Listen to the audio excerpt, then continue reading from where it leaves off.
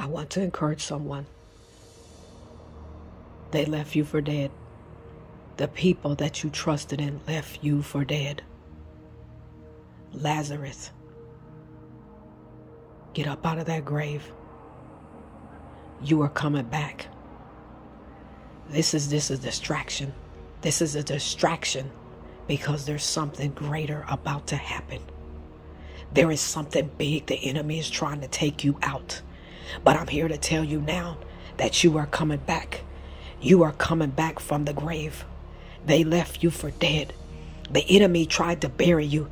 The enemy tried to throw dirt on you. The enemy wanted to see you dead. He wanted to kill you. He thought that you was done. But God said that you are about to come back. You are about to step back out of that grave. And those people that left you for dead, they're going to need you to help them. God is going to use you to help them.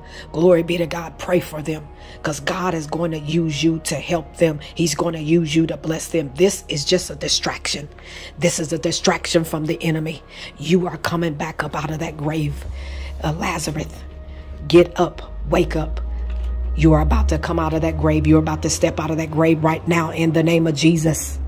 I want you to right now to begin to dust yourself off. You are coming back up out of that grave. This was just something of a distraction of the enemy. Yes, they left you for dead. Yes, they covered you with dirt. They covered your name with dirt. God said you are about to rise up right now in the name of Jesus. Something big is a big is about to happen. This was just a test. This was just to get you distracted off of the big thing. Press into Jesus right now. In the name of Jesus, begin to rejoice right now. Rejoice right now. It is about to happen. Start rejoicing right now in the name of Jesus. Glory be to God. It's about to take place right now this month. This is just a distraction to stop you from what is about to happen.